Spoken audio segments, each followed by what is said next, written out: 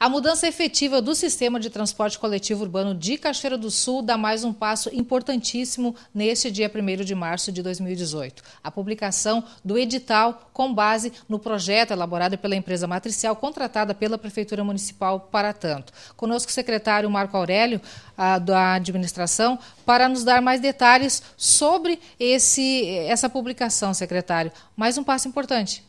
Sim, hoje foi publicado a, a abertura do edital né, da, da, da, licitação de transporte público. Né. O ano passado foi solicitada a empresa matricial a fazer a modalidade otimizado, né. O trabalho foi feito, né, conforme o, o prefeito solicitou. É, agora a gente publicou hoje né, a licitação, né, que será dia 5 de abril às 9 horas aqui no, na Secretaria de Administração, no setor de licitações. Né? Abertura dos envelopes? A abertura, a presença né, para abertura dos envelopes da, das empresas interessadas. É um trabalho muito bem feito tecnicamente né, pelas equipes, né, junto com a Secretaria de Planejamento, né, governo e restando a Secretaria de Administração montar todos os editais, as planilhas né, para apresentar para as empresas interessadas. Secretário, muito se falou nessa, nesse termo otimização, que o senhor citou agora há pouco. Para o telespectador relembrar mais uma vez, é, quais são os focos principais desta otimização? O transporte otimizado ele é um transporte mais é, o, se torna-se mais rápido, né? Mais rápido uh, para a população. Não seria como um sistema transbordo que teria duas ou duas ou três transferências de passageiros, né? Então foi escolhido, a matricial ela fez esse trabalho, né, dentro de tempo de linhas, de, dentro de, de, tempo de horários, né, é, estudos nos bairros para ver se tinha é, a, a, deficiência de, de, de, horário, né, porque o, a população quando vem para o trabalho ou quando vai para a escola para diversos fins, ela quer é, que pegue no horário e chegue no horário. Então foi feito um estudo bem elaborado para matricial, foi feito vários questionamentos. Nós tivemos uma audiência pública para a comunidade participar, a comunidade, os empresários participar junto às pessoas interessadas afim para tirar qualquer dúvida. Então esse trabalho foi bem feito, né? A Secretaria de Planejamento montou junto com a administração e o governo, como eu falei anteriormente. E nos resta agora esse próximo próximo passo que é o tempo de licitação. Então, o que, que é? Vai ficar os 30 dias, né, aguardando os editais abertos. A pessoa que tiver interesse, a empresa, o empresário que tiver interesse, é, procura ou pelo, pelo site, né, ou pela. Aqui na administração mesmo vai ter aqui nos murais é, toda a parte digital que precisa apresentar, o que, que vai ser feito, a modalidade de preços. Né. Então, parte disso aí tudo, a gente cuida muito disso aí. Foi muito bem feito técnica, com os técnicos da prefeitura, o setor de licitações é, ficou um bom tempo em cima estudando, né?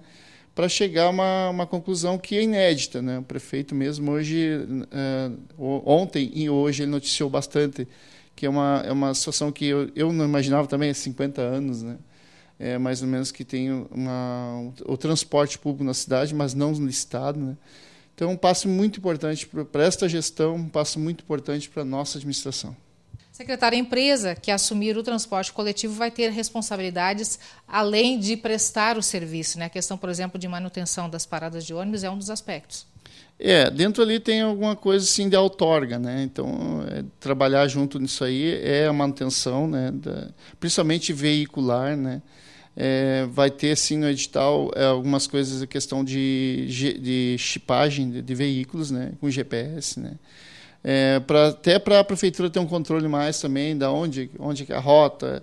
É, é importante para o crescimento para os dois lados, né? tanto para a empresa de ônibus, porque é, a gente vai estar ciente também do que precisamos mais investir em pavimentação, investir em asfaltamento, é, investir em paradas de ônibus também, né, que é importante para as pessoas que esperam ônibus. Então tem dentro sim tem vários aspectos sim. É, só é, lendo bem o edital, lendo bem o nosso nosso ali, as exigências estão todas ali para as empresas, né, para que uh, chegamos a ter o, o, tanto o trabalho e o atendimento à população, né, com, com, que esteja contento a todos. Né? Então, é um trabalho licitatório, é um trabalho sério, né? não tem é, é, é um, tra trabalho, como te disse, tecnicamente vem trabalha sendo trabalhado por uma empresa contratada, que é a Matricial, que ela formulou todos os estudos. Né? Dentro desses estudos, as empresas têm que se adequar dentro do que a gente está solicitando. Bom, só para a gente ilustrar um pouquinho, uh, um resumo em números deste trabalho, deste projeto, vai aparecer na tela aí para você uh, uma cartela com alguns números. Nós temos atualmente 13 linhas em funcionamento com 66 variantes de rota. Vão ficar 11 linhas com 24 variantes. Temos também atualmente 1.325 horários que vão ser enxugados para 1.097. Uh, secretário, isso vai otimizar, vai refletir de alguma maneira no preço das passagens? É, a, toda, todo o valor tem, com o aumento da, da, de toda a situação que tem hoje no Brasil, né, de aumento de combustível, é, é sempre tem que ser adequado. Né? Mas a, no aumento da passagem, até quem pode explicar melhor seria o secretário de governo né, na parte, mas creio que o, o trabalho exigido, que, é, que parte da administração, é o trabalho ser feito à licitação. Tá? Então, se vai alterar futuramente, a gente não, não sabe, né? então reserva. Nessa questão das linhas, é, as linhas elas são uh, nas variantes são trabalhado o quê? O atendimento dentro do horário, entendeu? Que as pessoas não fiquem sem o horário de ônibus. Então foi trabalhado isso aí é, nessa comissão, né, que foi feita lá do transporte público, conversado bastante.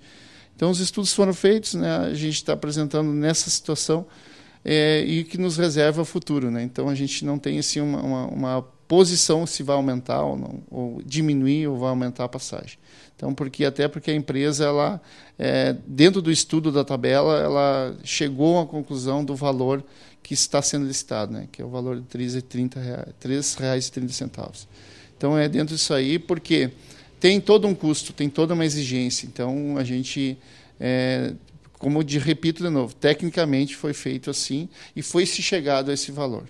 Então, vamos reservar o futuro, o que, que né, se vem aumento, se não vem aumento.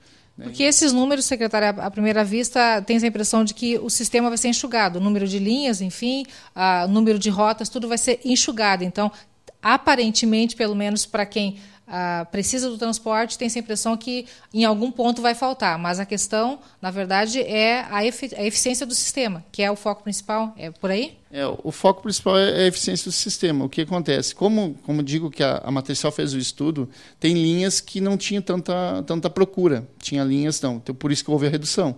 Então, então, assim, ó, as linhas essenciais, as linhas essenciais nos horários, é, foi tudo mostrado no estudo. Então, dentro desse estudo que partiu né, essa decisão né, que, de fazer essas, essas variantes e essas linhas. Diminuiu a população, ah, mas diminuiu linhas, mas pode ter certeza que vai suprir mais horários. Então, assim, é, no estudo mesmo mostra. Né? Então, a gente está muito contente com o estudo, né? E partimos agora para a parte legal, a parte que é licitatória, né?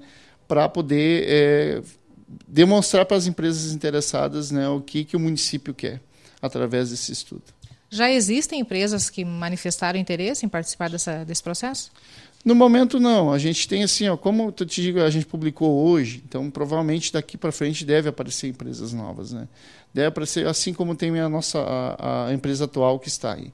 Então vamos aguardar, né, nesse prazo aí e creio que vai ser sucesso, vai ter, né, eu acho que uma boa licitação, acho que né, que ficará bom para todos, né? Então, a se cumprir tudo isso, secretário, no segundo semestre já deve haver uma revolução no sistema de transporte coletivo, pode dizer assim?